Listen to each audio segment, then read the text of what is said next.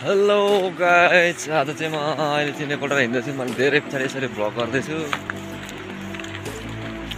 लाग्दैन है? टाइम आएको कस्तो हुन्छ हेरिदिनुहोस् साथीहरू। हो हातमा पन्जा पनि छैन जाडोले लास्टै हात कक्रिरहेको छ लाटो लाटो भइसकेको छ खुट्टाहरू पनि जोडन त छैन यी चप्पलमा हिँडेर हो। तर साइडमै भएको खोला चाहिँ हाम्रो बैजनाथ खोला हो बैजनाथ फायदेमंद हो सकती है So, यो फेरि खतरनाक छ। पोहोर एउटा मान्छे बगायो एकजना हाम्रै गाउँको। फेरि यसपालि पनि बगाउँछ होला। को बौलाहरू कर खोलामा अहिले त छैन पानी सुकिसकेको गाइज मलाई चाहिँ आज कस्तो मजा लागिरहेछ क्या। खुट्टा लाटो भइरहेछ है। हात खुट्टा पनि लाटो भइरहेछ। अगाडि हातमा मोबाइल।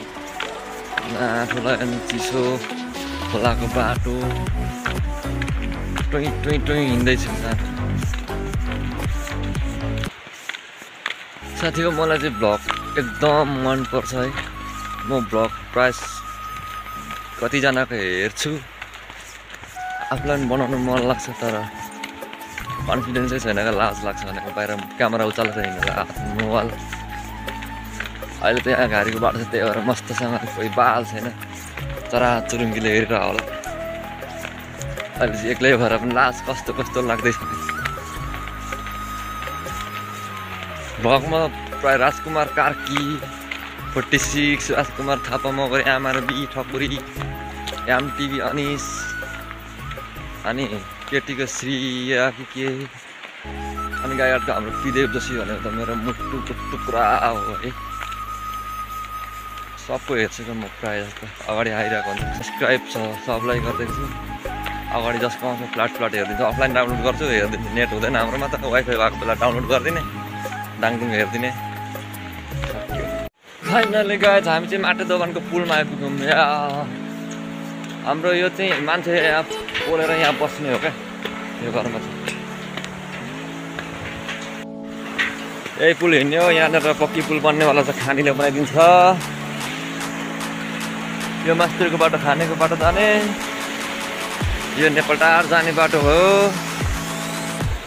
यो भनेको चाहिँ हाम्रो गैडाखोर खोल्मे हलडाँडा भदौरे सब जान्छ यो बाटो। चाहिँ हाम्रो यो पुलमा चाहिँ टक्कसँगले पहिरो झरेर यस्तो बनाइदिएको आधी आधी।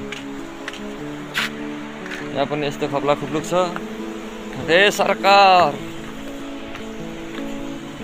ए सरकार गाडी हिँड्ने बाटो राम्रो नभए भने मान्छे हिँड्ने बाटो त हेर राम्रो बनाइदिनु पऱ्यो है यसपालिको नेताहरू पोलिटिक्स छ ए यस्तो छ।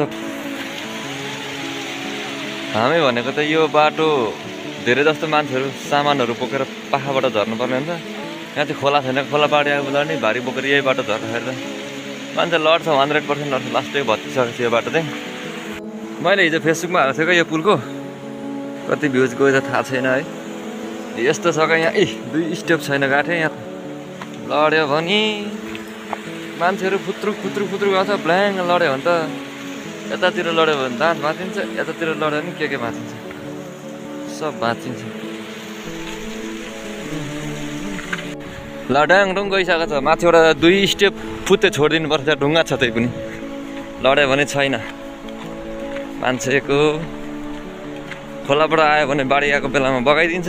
अब सामानहरू गाडीमा नजाने खोला मान्छे तर्नै पर्छ अटोहरू हिँड्ने अनि माथिबाट आउँदा कोही नयाँ मान्छेहरू आयो भने अब सिडी छ भनेर फित्रिक फित्रिक झर्छन् ट्याक ट्याक ट्याक। अब हामी पनि त्यसरी झर्छौँ त्यसरी झर्दाखेरि चाहिँ सिडी छैन क्या एक खुड्किला दुई खुड्किला। त्यसको हराइसकेछ हराइसक्यो भने पनि त्यसको माथिबाट पहिरो झरेर भत्केर झरिसक्यो अनि त्यहाँ ढुङ्गा अड्काइदिएको छ त ढुङ्गा पिल्टिक पिल्टिक हुन्छ। मान्छे लड्यो भने दाँत सात फुस्किन्छ अनि यसो यसपालिको नेताहरूले हेर्दैदेखि राम्रो हुन्थ्यो मान्छे हिँड्नेको लागि पुल त छ तर त्यो पुल लागि राम्रो सिडी छैन क्या त्यही हो यो चाहिँ हाम्रो गैडाखोर बपिवालदेखि मुनि एउटा सिधा बाटो छ है सिधा त के भन्नु पाखाको बाटो स्कुल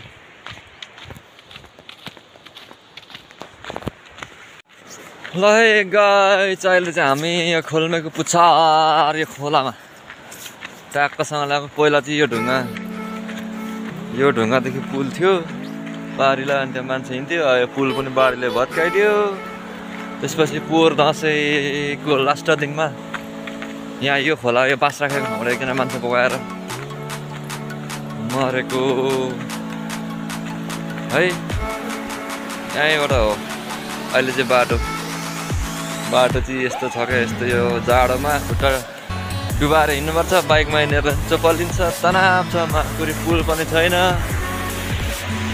यहाँ पुल थियो बगाएर पहिलाको काठको पुल थियो त्यही पनि गाडीहरू तर्थेन यो चाहिँ अनि हाम्रो आफ्नै अर्ग्यानिक यहीँको दाईहरूले हजुरबाट बनाएको पुल रहेछ यहाँ।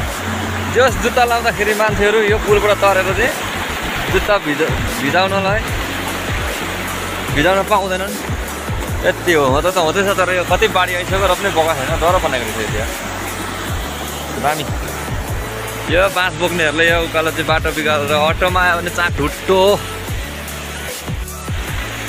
यहाँ चाहिँ के छ भन्दाखेरि यो चाहिँ पहिले कस्तो यस्तै ढुङ्गै ढुङ्गा थियो क्या। यहाँ यो काटेर चाहिँ रोड बनाएको छ तर त्यो रोड चाहिँ अहिले सक्सेस छैन क्या। छानो चाहिँ छ। तर अलि यहाँ पर धेरै ठाडो छ क्या त्यहाँ गाडीहरू पनि चढ्दैन केही पनि। यहाँ दामी छ। यहाँ मुनि यस्तो खोक्रो छ माथि रोड बनाएको छ प्लेन छ।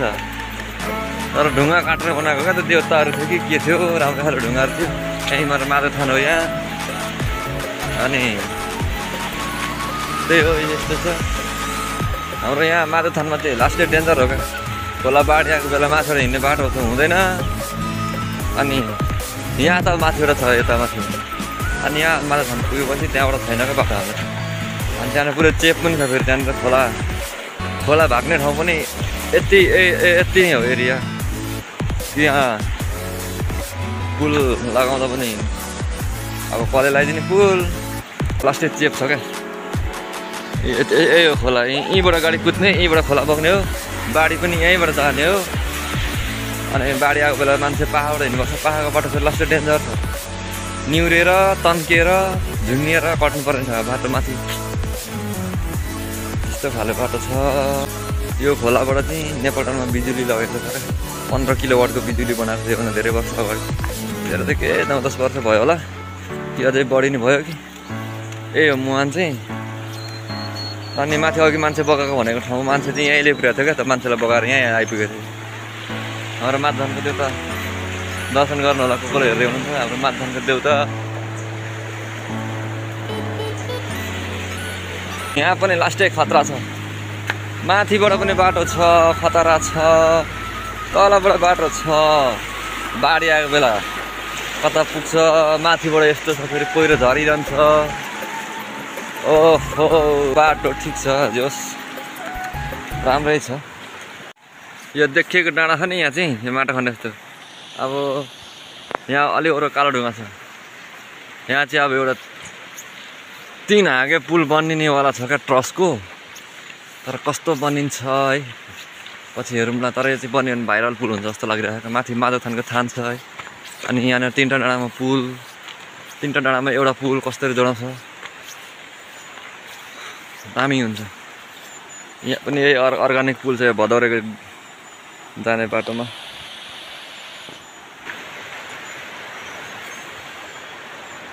यो ढुङ्गाबाट त्यहाँ लाने रहेछ।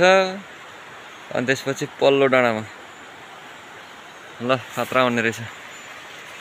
गाई चाहिँ अहिले चाहिँ ठ्याक्कै म चाहिँ हात्ती पहिले दह थियो है पहिला यहाँ चाहिँ तपाईँहरू योबाट हिँड्नु भएको रहेछ हिँड्नु भएको थियो भने थाहा पाउनुहुन्छ। त्यो पनि बिर्सिसक्नु भयो होला अब बाहिर बाहिर बस्नु चाहिँ यहाँ पहिले हात्तीको पाइलो थियो क्या यो ढुङ्गामा। तर कुन ढुङ्गामा हो? हुनु चाहिँ यहीँ हो गहिरो दह थियो। यो माथिबाट मान्छे हिँड्थ्यौँ हामी यता यता पाहाबाट यहाँ चाहिँ अहिले यो खानेको बाटो बनाउँदाखेरि यो पुरिहाल्यो जाली साली लाउँदाखेरि।